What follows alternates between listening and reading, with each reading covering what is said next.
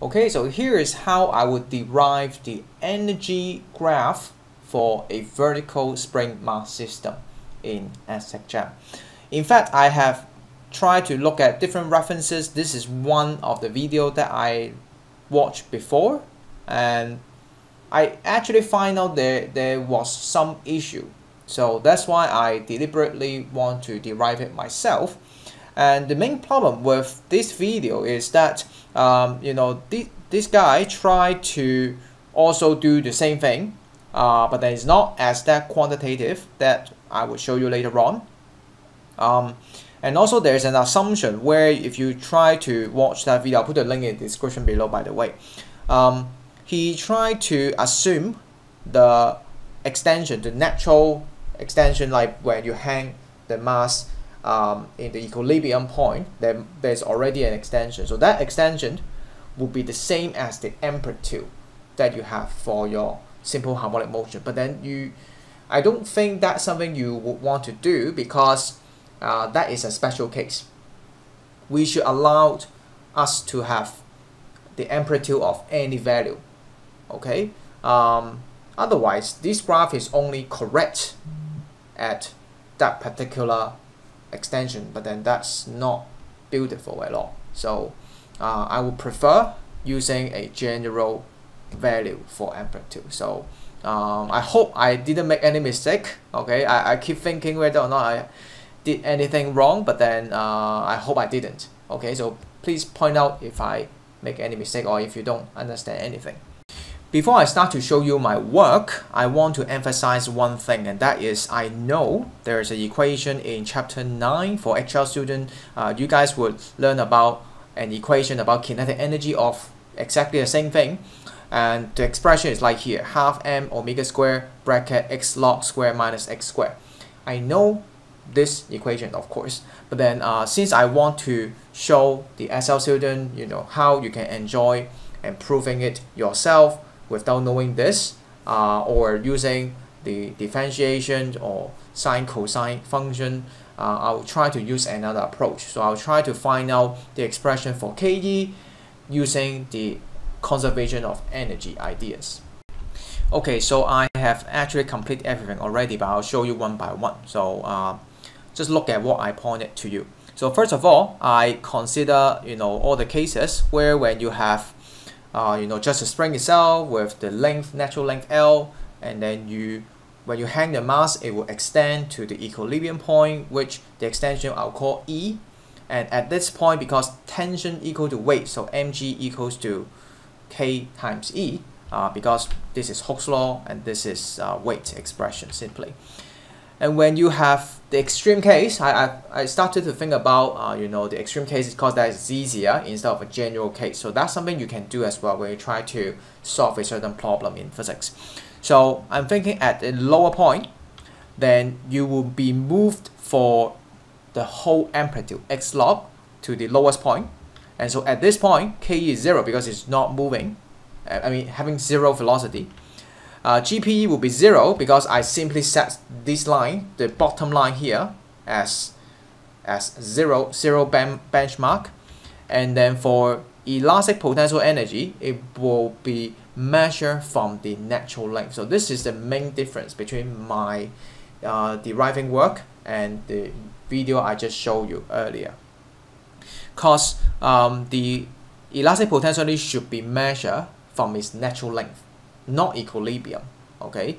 Um, I mean if you think about the graph that we talk about in in the past in chapter 2 force and displacement this is if, if the spring follow Hooke's law then you should measure from the ori origin and then you go to the whatever uh, extension in total that you have. And the area under the line is the work done but then if you only measure from equilibrium, then it is like you measure from a certain point. So you are more like measuring an area for the trapezoid instead of a triangle. So the equation would not apply directly. Okay, so back here, um, the equation that I put down therefore is half k extension square. So the extension is x log and also the e add together. So the whole, this whole length and then square of course. And when the mass move to the highest point, then again, I would not assume x log, that means the amplitude, will be the same as the natural extension E because I want to be more general simply. So uh, for KE is again 0, for GPE because I set the bottom to be 0 and now you have gone through twice of the amplitude so it will be MGH, H is going to be 2x log and again I try to use the expression I find mg equals to ke earlier and so I can change this mg to this ke so the final expression for the GPE at this point is going to be ke 2 x log okay will be useful for you know later comparison. As for elastic potential energy it's going to be half kx squared well I mean x as in extension in general but then here it's going to be x log minus e because if you think about uh, the actual length then you would not have the everything right? I mean you you only have here to be e again oops e again and then this is x log so the one the actual thing that you actually like compress this is not even extend this is compression. Think about this is L right? So this part is going to be x log minus e. So that's what we get here x log minus e uh, to power of 2 okay so these are the two extreme point and it's kind of a warm up, warm up actually. So it's not like very very useful actually. So let's think about a more general case. Here, I have the length, natural length L, uh, the extension to equilibrium E, and also X is the actual um, extension from the equilibrium and also the displacement you want to express in the x-axis as well. I took downward to be positive and so in this case then the GPE is going to be mg x log minus x. And it may be a bit confusing but if you think about that right let's say that much is x log.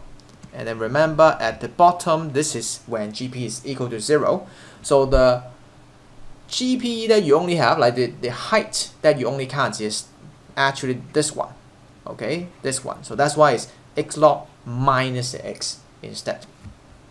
So uh, I can again change mg into ke as expression. So eventually I get this expression.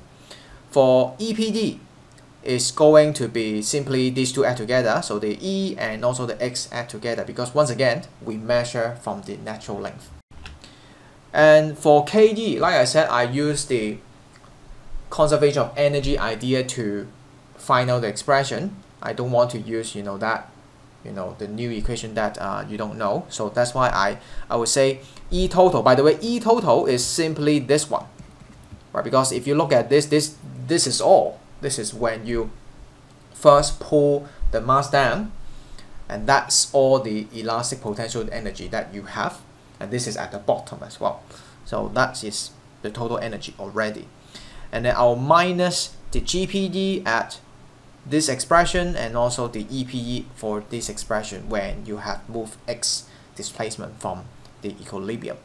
So um, here will just be some algebra work and uh, you'll find out there are a few terms you can cancel it out. Uh, if you like to check, you can pause the video and check it out. Eventually, it's actually very satisfying. Right? I mean, when I find this, it's like I find part of the beauty, a puzzle of beauty in the world. You find out the expression is simply this one half k x log square minus half k x square okay? I mean you can combine them if you like to but then I'll keep it like this because obviously this is going to be a constant.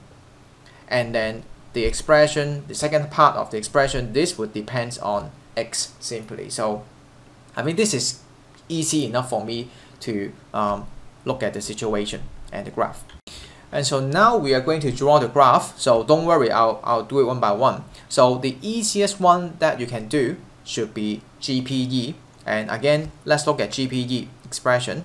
You can see obviously it is a linear line.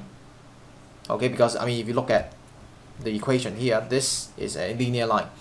Um, when you have the extreme point, then we can look back to you know the one that we, we did earlier. So it was zero and also ke2x log. So that's why I go from 0 to ke2x log here and I call this high point this is low point okay so this is the straight line that you draw and when you are at equilibrium you still have GPE and that is half of it because you have gone through half of the uh, I mean not half but one of the amplitude X log. So that's why the value is going to be KE X log right here. Okay just to show you hopefully more in scale ratio. The next thing that I would like to do is going to be elastic potential energy. And you can see the shape is going to be a bit you know not symmetrical. And that's very normal because uh, like I said I measure it from the natural length. And also uh, we don't assume x log that means the amplitude is the same as the E extension like the original extension that you have so that's why uh, it will look like that and so uh, the one thing that you can already see from the expression that we find out, this one, right, in, EPE of course, is that it will become zero when x equal to negative e, right? Because if you look at this, right, this is zero when x equal to negative e. So that's why when it's negative e, this value should be exactly zero.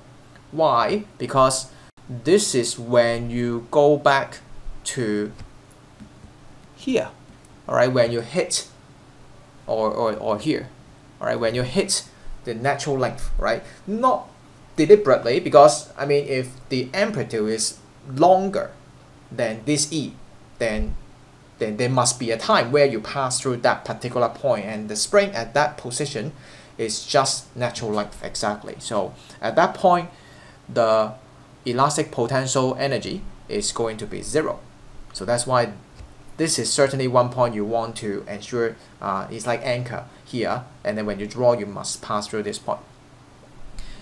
The other thing that I could find out is again uh, using you know the work that I did here. This is the expression for the high point, this is expression for the lower point and again this is a total by the way. And so that's why this is going to be higher on the right hand side and this side is going to be lower and when I try to draw it, I try to keep this, all right, this height going to be the same as this, okay, because that should make up the total so that uh, the total is again going to be constant right here. Okay, and of course this should be a quadratic equation still, but there is a quadratic equation that got shifted by E, and that's why it can uh, you can see from the equation itself. And lastly, for kinetic energy, and that is going to be expression, this expression. And then one thing that again you can see is when x equals to 0, it is when the whole KE become the largest and that makes sense because when x is 0 that means the mass is at the equilibrium and according to what we learned earlier this is when the mass is having the greatest magnitude of velocity. So uh, here, that's why it should be the greatest right at this point. And of course, at the two end, when you reach the amplitude, it will be zero. So zero here and zero here. And so the whole shape is going to be again a quadratic equation, a curve. And when you try to add all these three energies all together, it should reach right the constant total energy. So this is uh, the graph that I believe it should look like. If anyone find out any mistake that I make on you know the the work here, please feel free to point it out. I yeah I actually didn't cross check any anything else. I don't I don't know. I mean I can't I can't really find uh, reference. Maybe I didn't spend enough time. But if you find out anything wrong, please point it out, and I would happy you know to correct this. So here you have it. I hope you finally understand why the vertical spring mass system is much more complicated than the horizontal one because of the GPE and also you know the offset of the equilibrium. But I hope the whole process, although it's painful, you enjoy it. And this, again, is the best part in physics. I hope you enjoy learning physics with me. If you do so, please hit the like button now and subscribe to my channel. I'll see you again in the next video. Bye.